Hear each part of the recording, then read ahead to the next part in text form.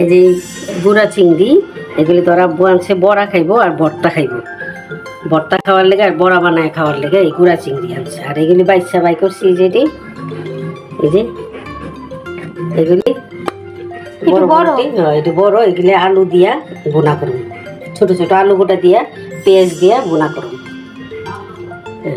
এগুলো বড় আর ভর্তা খাওয়ার। হ্যাঁ, এগুলি ভাইজা শুকনা মরিচটা টাইলা ভর্তা বানা হুগাইলে তো আব্বু এই চিংড়িটা পাইলে একদম গুঁড়া।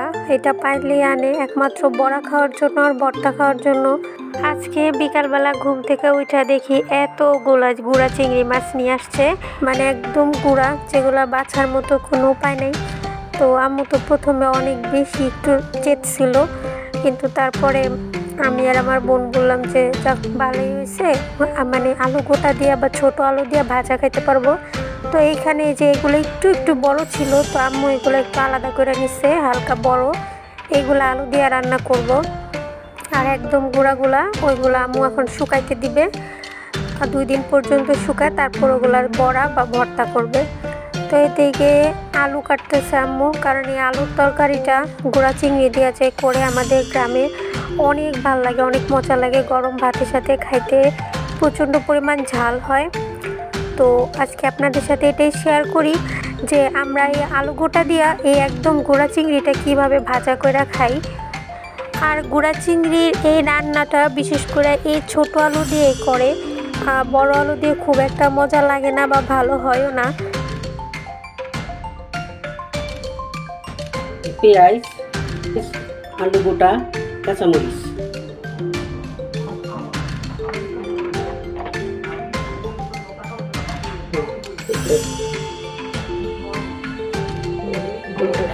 এবার রান্নাটা বসায় দিতেছে।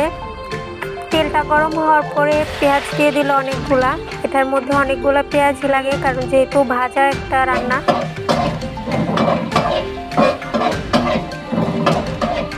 তারপর এখানে দিয়ে দিবে আলু। পেঁয়াজটা পুরোপুরি ভাজার আগে আলুটা দিতে হবে মানে হালকা একটু নরম হয়ে আসলে। তারপরে পেঁয়াজ আর আলুটা ভালো করে ভাজা ভাজা করতে হবে একসাথে।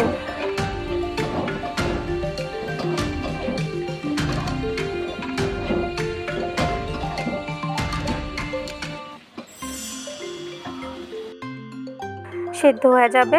তারপরে ভাজা হয়ে যাওয়ার পরে এখানে দিয়ে দিতেছে গুঁড়া চিংড়ি। গুঁড়া চিংড়িগুলো আগে থেকে হালকা করে একটু শুকনা টালা দিয়ে নিতে হবে। তারপর এখানে দিতেছে আদা রসুনের পেস্ট বা বাটা, অল্প একটু। তারপরে পেঁয়াজ, আলু, চিংড়ি আর হচ্ছে আদা রসুন। তেলের মধ্যে খুব ভালো করে ভাজা ভাজা করে নিতে হবে আরও বিশ মিনিটের মতো।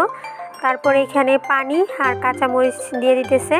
কাঁচামরিচ আমরা একটু বেশি খাই কারণ আমরা অনেক বেশি ঝাল খাই। আপনারা তো জানেন যারা আমাদের ভিডিও রেগুলার দেখেন।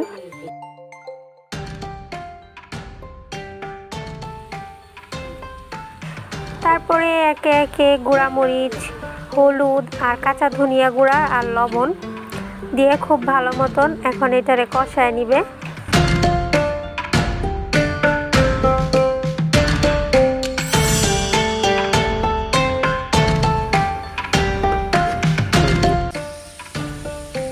তামু জিরা গুঁড়া দিয়ে দিতেছে। তো হয়ে গেছে আমাদের গরম গরম ভাত নিয়ে চলে আসলাম। এই রান্নাটা এত ভালো লাগে, এত মজা লাগে গরম ভাতের সাথে। দেখেন, একদম শুকনো হয়ে গেছে, একদম ভাজা হয়ে গেছে। তো এই যে হালকা হালকা একটু মশলা থাকে, খুব একটা বেশি ঝোল কিন্তু এটার মধ্যে থাকে না, মজাও লাগে না। তো এটা অনেক বেশি ঝাল হয়। তো এই যে দেখেন, কালারটা কত সুন্দর লাগতেছে। কালারটা দেখলেই তো মন ভরা যায় খাওয়ার আগে। তো এখন তো শুধু হাপুস হুপুস আর ঘাপুস ঘুপুস খাওয়ার পালা। আর সাথে আছে বোম্বাই মরিচ মানে কামরাঙ্গা মরিচ। আমাদের গ্রামে দেশে আর কি কামরাঙ্গা মরিচই বলে। তো একদিন এইভাবে গুঁড়া চিংড়ি আয়না তারপর রান্না করে খায় দেখবেন কেমন লাগে। আমাদের কাছে তো অনেক ভালো লাগে। আর চিংড়ির বড়া আর ভর্তার জন্য যে চিংড়িগুলো রাখছে, ওইগুলো দিয়ে আপনাদেরকে রেসিপি দিব। আম্মু যদি বড়া বানায় বা ভর্তা বানায়, আমরা কীভাবে খাই সেটা দেখাবো আর কি। তো এই তরকারিটা অবশ্যই বাসায় ট্রাই করবেন। আজকের মধ্যে এখান থেকে বিদায় নিই। টাটা, আল্লাহ হাফেজ। ও, আর আমার চ্যানেলটাতে একটু লাইক করে দিন আর একটু সাবস্ক্রাইব করে দিন ওকে টাটা বাই